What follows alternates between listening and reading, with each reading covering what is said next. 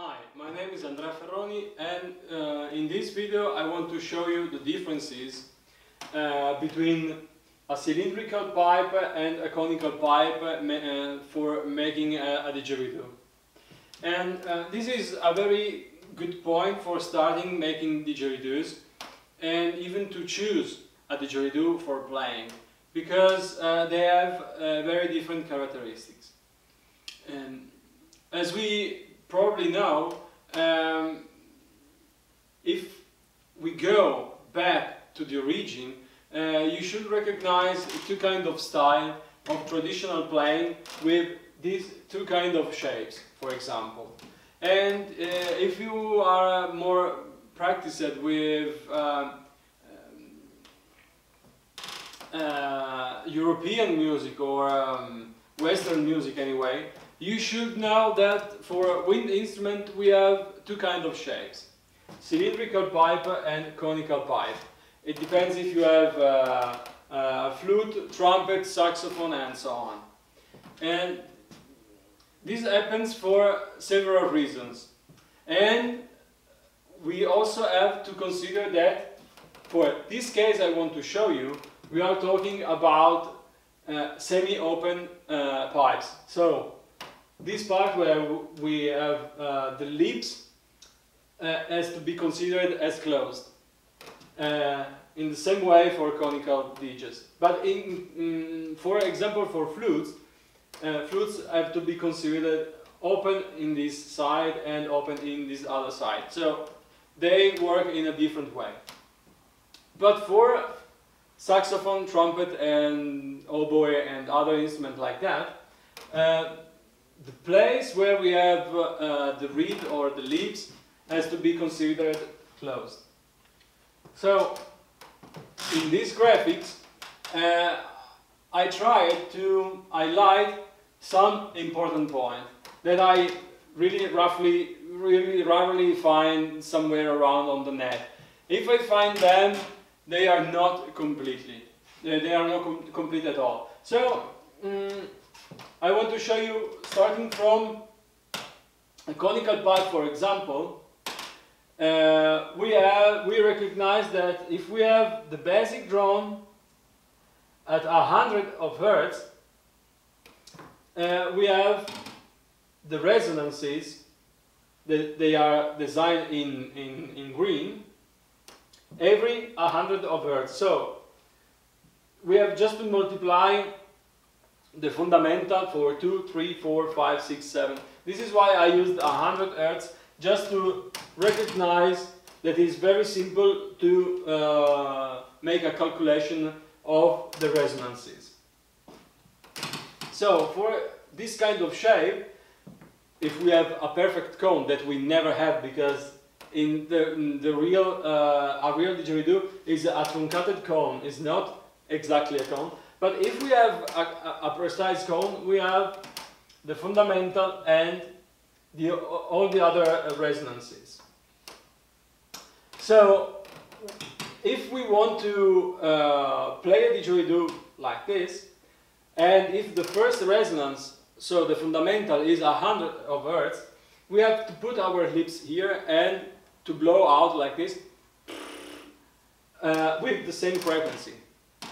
When we do so, um, means that we are uh, blowing inside this pipe a sound spectrum that I highlighted here in yellow that is the sound spectrum of our lips. So, for a shape like this, every uh, harmonic, so in this case we have the basic drone, the, the yellow one I mean, we have the basic mm, uh, drone, or we have the, the, the, fundamental of the, of the lips, then the harmonics of the lips, so the third, uh, second, third, fourth, fifth, sixth harmonics and so on, they are able to, to meet the resonances. And so if I put this sound spectrum, the yellow one, in a pipe that uh, is able to amplify in every resonance uh, I can obtain the red sound spectrum, that is the sound spectrum of the didgeridoo. In this case, everything is synchronized, so the, the, the harmonics are always with this uh, multiplication factor, uh, they, they go ahead with this multiplication factor. So I use the uh, excitation, that is the yellow one, per uh, the, um, the, the, the impedance, and then I obtain the sound spectrum. In case I use this kind of shape, you should be able to recognize that the resonances are not all the multiple of the fundamental, but only the odd multiples. And so we have 100, 300, 500, 700. And what happens is, if they join, so if my lips spectrum meet the resonance, I obtain a peak of volume. So I obtain the fundamental. Uh, for this kind of shape, the, the second, uh, the first harmonic uh, is very, very low because uh, it, it is in a uh, anti-resonance uh, position. And then we, again, with, when I meet the harmonic of the lip with the, the first um, resonance, uh, the, the, second resonance of the, the, the, cylindrical pipe, I obtain again an, an higher peak of volume. So this is very important. And for these two kind of shapes, it is very simple because you meet the resonance or you don't meet at all. If we have um, mixed shape with parts of cone and part of uh, and another part they are cylindrical, so we have a shape, for example, like this.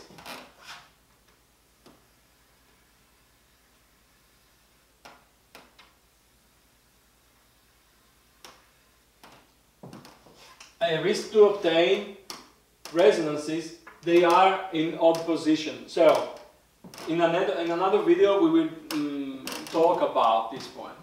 But if we remain in this area, so with two specific uh, shape, uh, we uh, should be able to recognize some very important characteristic. The resonance, I like the fundamental and uh, the other resonances that we call them on the didgeridoo toot. So, if I have a, cylindri uh, mm, a cylindrical mm, pipe, uh, I have, if I want to move from the fundamental to the toot, I have to move from 100 to 300 hertz. So this means a quite big step. Uh, with a conical pipe, if I have the fundamental at 100 hertz, I have the first toot at 200. So I move from 100 to, to, from 100 to 200. And this is easier to, to move as a step. So it is smaller. So the second toot is the first toot of a cylindrical pipe. So this is the first point. I will use this shape if I want to move from the basic drum to the toot easily. And for those they uh, know something about traditional music, in Northeast uh, Arnhem Land style, we have pretty this kind of shape. And the toot is used very often in every, in every song.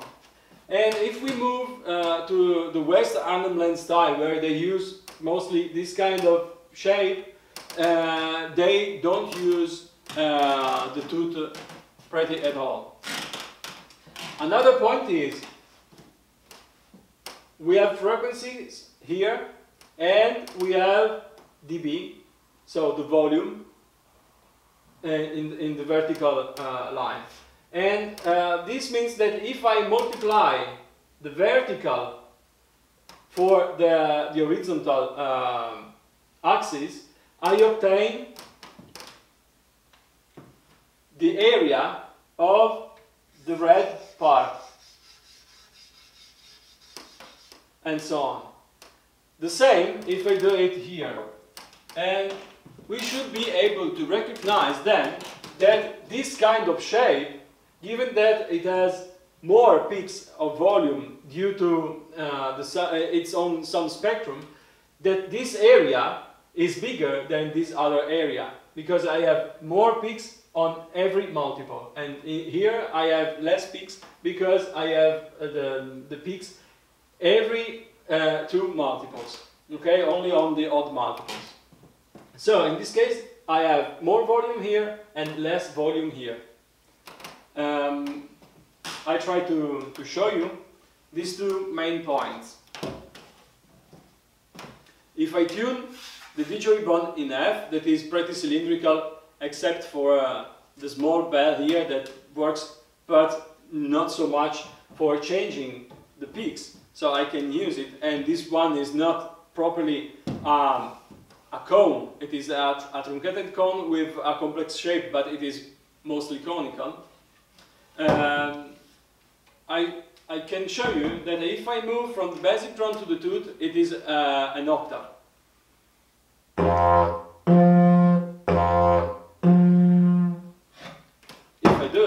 This one,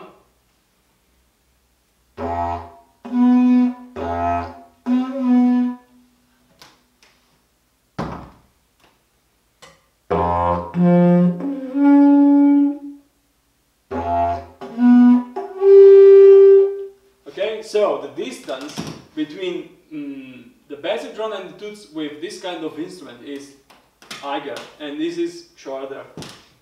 Even the volume. I don't know if uh, it's good with this camera because uh, yeah, the, the, the, camera is also able um, to limit the volume and to try to stabilize the volume in the entire mm, video. So probably you are not able to recognize recognize it, but with the same pressure I have more volume with this one than in this one. Okay? So, um, for this reason people think that this shape is the best and this shape is not so good because it has less volume and you are not so um, uh, you don't feel so comfortable moves, moving from the basic drone to the toot. But there is another point that is even more important. Um, if I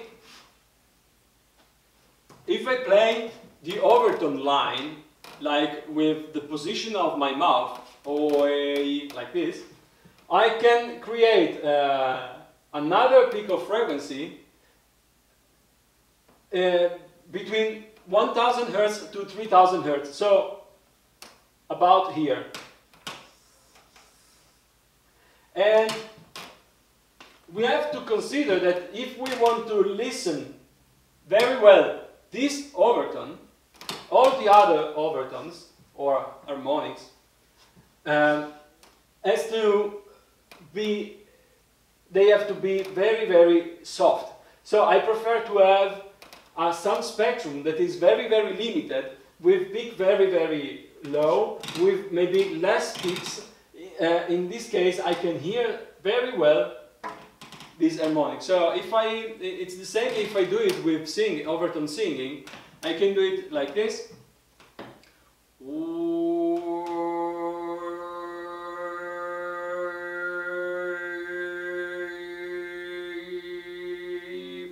In this case, I use most of the um, harmonics of my voice. So you could recognize my voice. But if I close my muscle and I try to filter them, um, I, it's something like it is if I move down these overtones and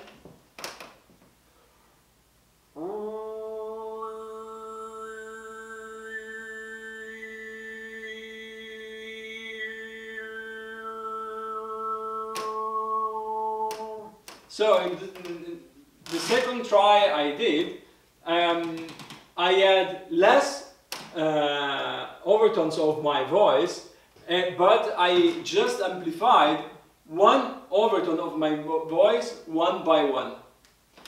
So, if we want to listen more this sound with our didgeridoo, this shape is better and this shape is not.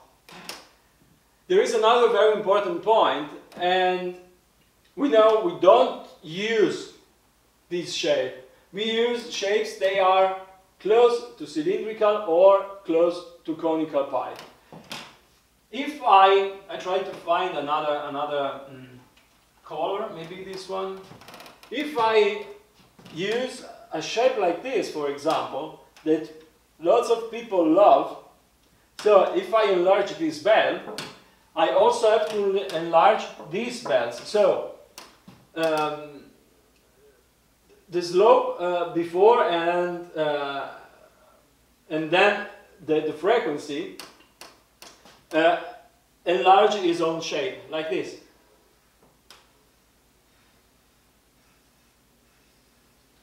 The same can be for this kind of didge. If I have a cylindrical pipe with a very big bell, I have to consider that the sound, the final sound spectrum will be like this. This means that the area increase. And so, even if I have a cylindrical pipe, but with a very big bell, I wish to have the bell of the sound spectrum so large that uh, the, the, the, final uh, volume of my didge is bigger. And so you can't hear the overtone here. I show you. And I take even another one, maybe with a very big bell.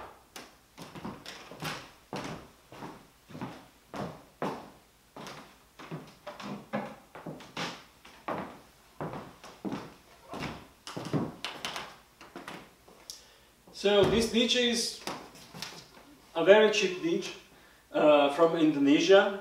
Hmm? It is quite short and a very big bell. So it's something like this shape, but with a very, very huge bell.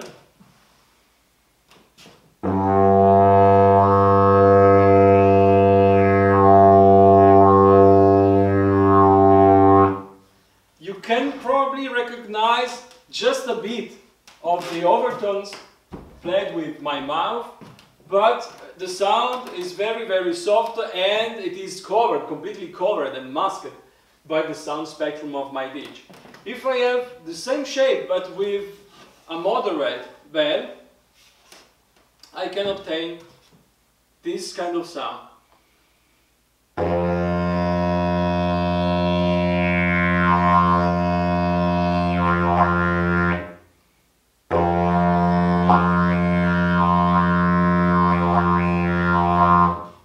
And if I do the sound should get out even more brilliant.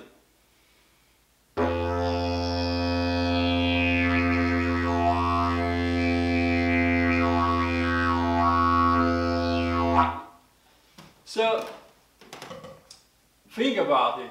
Sometimes people prefer to have a very big volume, but for my, in my opinion, it's better, especially if I play on stage with a PA system, I prefer to put up the volume instead of to have a big volume of my didge with a very bad sound of the didge.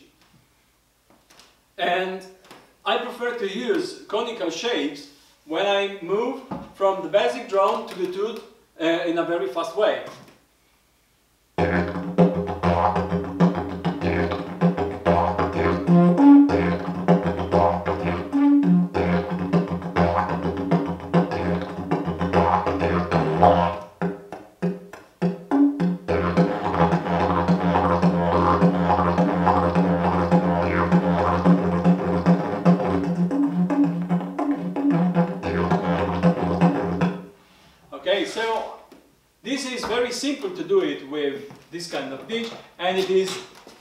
Complex, complex to do it with this other one.